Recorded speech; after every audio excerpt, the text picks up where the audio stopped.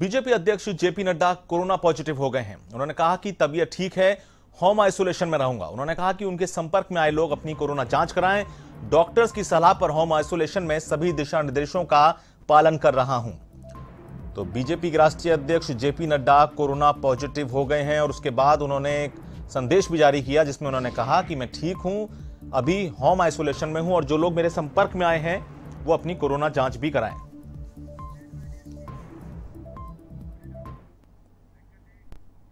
केंद्र सरकार के कृषि कानूनों के खिलाफ किसानों का आंदोलन जारी है।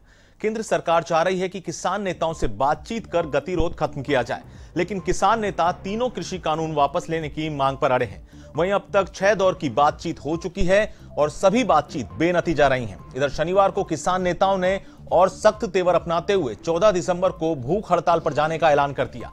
लेकिन उससे पहले रविवार को राजस्थान बॉर्डर पर हज़ारों किसानों ने दिल्ली जयपुर हाईवे को जाम कर दिया, जिससे आवागमन बाधित हो गया।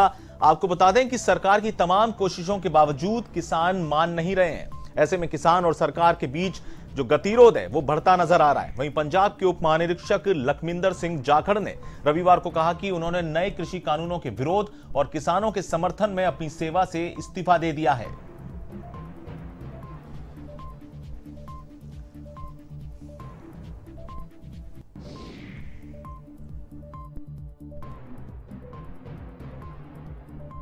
तो कुल मिला के जिस तरह का जो अभी हालात बने हुए हैं, जो सरकार और किसानों के बीच जो गतिरोध है, वो बरकरार बना हुआ है।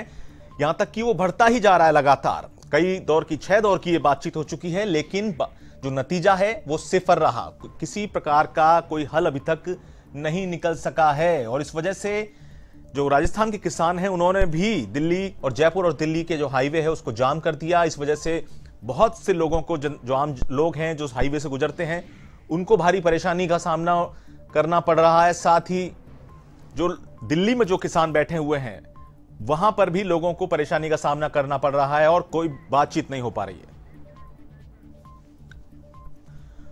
और इस खबर पर हमारे साथ हमारी दिल्ली संवाददाता प्रीत किरण जुड़ चुकी हैं। प्रीत जिस तरह से छह दौर की ये बातचीत हो चुकी है, उसके बाद भी जो नतीजा है, कहीं कोई नतीजा नहीं निकल पा रहा है बातचीत का। किसान अपनी मांग पर अड़े हैं और यहाँ दिल्ली हाईवे, जो दिल्ली और जयपुर हाईवे है, वो भी राजस्थान के किसानों ने जाम कर दिया है। अभी जो बातचीत है, वो किस तरह से, किस तरह क्या जो किसान संगठन है, अब उनका फाइनल जो किस तरह की बातचीत वो चाह रहे हैं, आखिर क्या कृषि कानून खत्म करने पर ही वो बात करेंगे? जी, बिल्कुल, जिस तरीके से सुधांशु जो किसान है वो प्रदर्शन कर रहे हैं उनकी तरफ़ से ये कहा गया है कि जो कानून है जी। कानून उसको पूरी तरीके से खत्म किया जाना हम्म, चाहिए। हम्म, उसमें हम्म। किसी भी संशोधन की कोई गुंजाइश नहीं है क्योंकि जिस तरीके से लगातार किसान जिन चीज़ों का विरोध कर रहे थे जो कानून आया है उसमें कहीं ना कहीं पूरी तरीके से उद्योगपतियों को फ़ायदा मिलेगा प्राइवेट प्लेयर्स किसान के हम्म, हम्म। देश में हस्तक्षेप करेंगे ज़मीन हम्म। जिस तरीके से अधिग्रहण करने की बात की जा रही है कॉन्ट्रैक्ट फ़ार्मिंग के नाम से तो कहीं ना कहीं किसान पूरी तरीके से इसका विरोध कर रहे हैं। हालाँकि आज ये देखने को मिला कि गृह मंत्री अमित शाह के घर पर कई मंत्रियों की बैठक भी हुई। अहम चर्चा हुई उस बैठक में उसके बाद नरेंद्र सिंह तोमर जो कि केंद्रीय कृषि मंत्री है उनके आवास पर भी काफ़ी किसान पहुँचे। उन्होंने कृषि कानून का समर्थन भी किया है किसान जो पहुँचे उनके आवास पे। लेकिन बावजूद बावजूद इसके जो किसान धरना हम्म। प्रदर्शन में शामिल है हम्म। उनकी तरफ़ से ये कहा जा रहा है कि कल हम्म। सुबह सुबह आठ बजे से लेकर शाम तक कुछ किसान ऐसे हैं जो उपवास करेंगे।